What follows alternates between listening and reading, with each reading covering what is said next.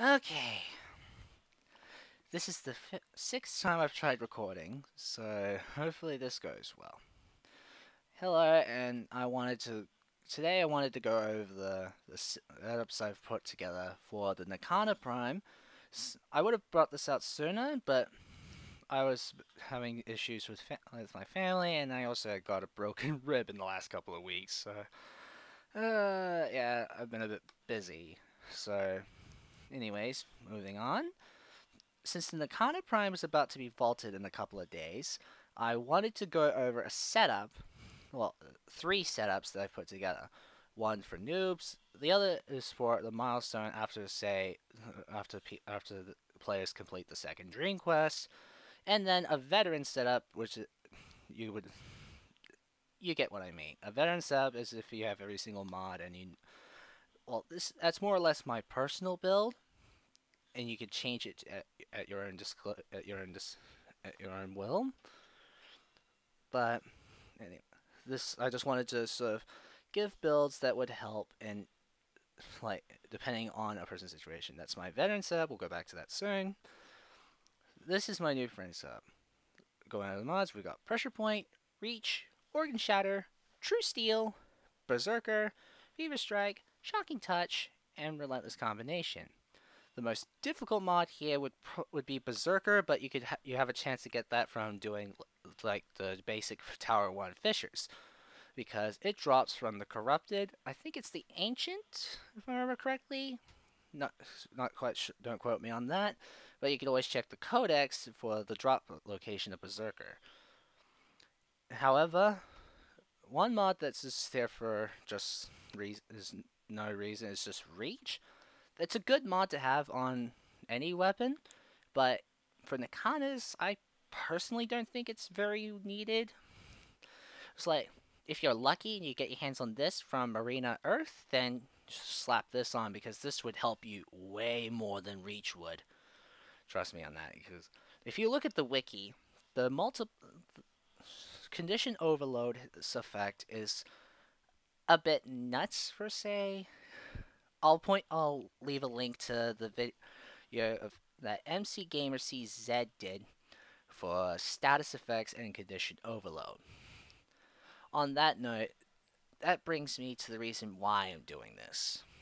Because I looked over other videos like Roseheim's Why Would You Use series, Baus Phoenix's Watch It in Action, Headshots Let's Max, and MC Gamer CZ's Quick Look. I they only show one build, and that's pretty much if the veteran build. I mean, sure, it's their personal builds, but their builds are more or less for quote unquote veterans. So that and that's pretty much what my set for the Nikana Prime will do. That I wanted to make these builds just so it gives like newer players an idea of how to mod their weapons under the right circumstances or depending on their on the weapon in question. So, the Nikana Prime, this is my new friendly setup. Let me show off its build. I would I was testing this out with Excalibur, but I completely forgot that his passive works on the Kanas. And also my internet kind of crashed, so I'm having to I only just got back to the simulacrum.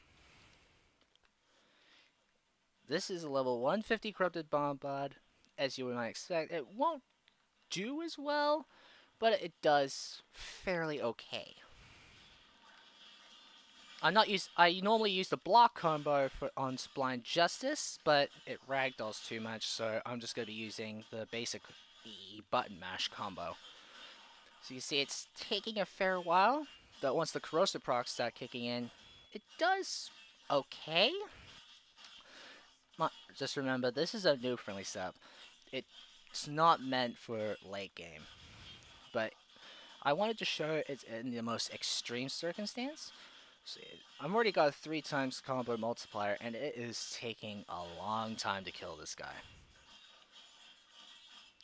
But you can you'll notice the trend that as I go higher in the like as I go further through the builds, you'll notice that it takes a lot easier. Actually, I'm curious. Before we move on, I wanted to see how well this build would do if I were using my son this this banshee build I got. So my banshee's built for sonar, so let's just spam it a few times, get the build going.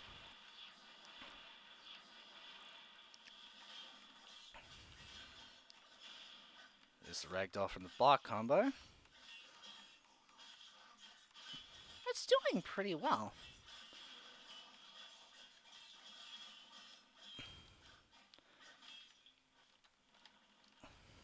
Ah, nuts.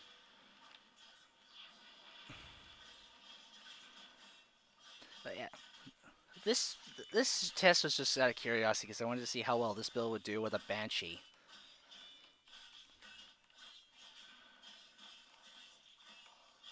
And still not doing very well, I must say. But this is the new friendly setup, so I'm I'm a bit impressed for a new friendly setup. This is doing pretty well.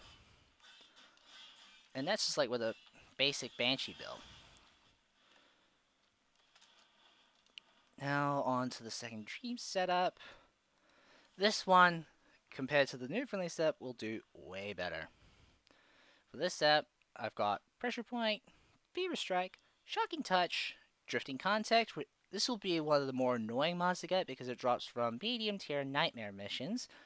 But I can't remember exactly where, the, like what locations drop this. I know two off by heart, which are Lua and the Kuva Fortress, but you get those a bit late in the star chart, so don't try and go. Like Lua, those two aren't the only places to get it. If I remember correctly, one other place is the Void, so you can always go to the Void if you unlock nightmare missions there. Then for the bottom row, we got Blood Rush. This mod you can get from the Orokin Moon Spy mission. The Orokin Moon, as I said earlier, is just named Lua. So if you go to Pavlov on Lua, you have it, and you do the spy mission there, and you get all three vaults, you have a chance to get this mod. From the new printing set, we got Berserker, True Steel, and Organ Shatter. The reason True Steel is here, because even though Blood, while Blood Rush is, is because the effect Blood Rush has is it takes your final modded critical chance. So it takes the so if it treat it doesn't take your base. So like since I have a 32% critical chance with True Steel on, it will multiply 32 my 32% critical chance by 1.65. Since at max rank one 165% means you're just multiplying your critical chance by 1.65 and adding that on top. I have I don't have a calculator on me, but with that with this much critical chance, you're gonna hit orange crits fairly quickly, and that will in turn help Berserker proc quicker. And these two monsters, just like in the event you get Corrosive proc going, this will do quite well. It's a solid setup for if you could Blood Rush from the spy from the spy mission on Lua. So let's just show it off this is level 150, and even though it's not a veteran setup, it will still do fairly well. I'm avoiding using the block combo because it does have a lot of ragdoll to it. And the last time I tested it, you saw it just sent enemies off the map.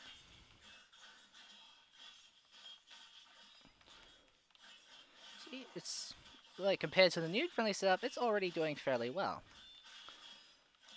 and this is like, and bombards aren't weak to corrosive. They do lose armor, but they're more weak. To, bombards are weaker to radiation damage. So you saw that took way less time than the new friendly setup. And now my curiosity's back again. I want to see how this does with Banshee. Sorry, I'm trying to hold back a burp. Let's see. That should be enough.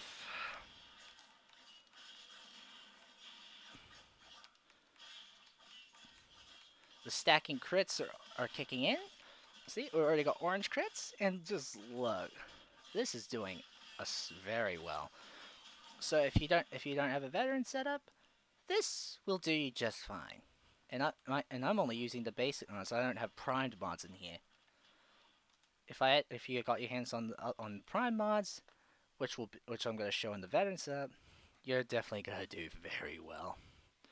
So, but, and so that was my second dream setup. Now on to my veteran setup.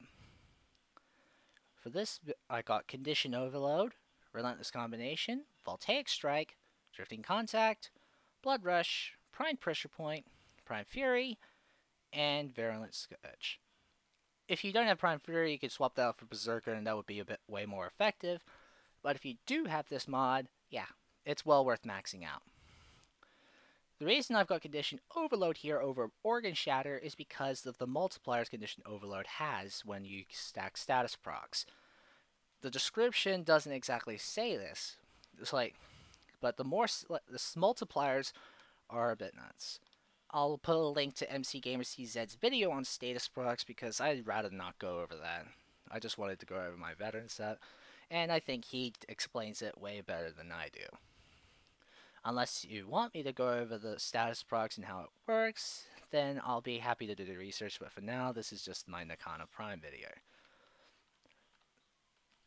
Compared to the other two setups, this is obviously going to do way better, or slightly close to the second Dream setup, but this is more, my, or less my personal build for Nikana Prime. So you can see it's doing very well, and Relentless Combination is quickly building up that combo multiplier. I wasn't keeping track of the swings, but thanks to the slash ticks, it was doing fairly well. If anything, it was probably one of the better setups I've done. Anyways, since Nikana is about to be vaulted, I highly recommend getting this weapon because depending on when you hold on let me just quickly check something. It's been ages since I got Nikana Prime so I am not sure when it what its mastery lock is. Can I see from here? No. Uh, I think if I remember correctly its mastery lock was around 7 I could I can be wrong because I might be thinking of the Fragger Prime because that also has a mastery rank lock of 7. But anyways, if you get Nikana Prime, it is well worth it. I'll be going over the Spira Prime tomorrow because that's also another weapon that's about to be vaulted in a couple of days. So, yeah, I will see you for that video. Bye-bye.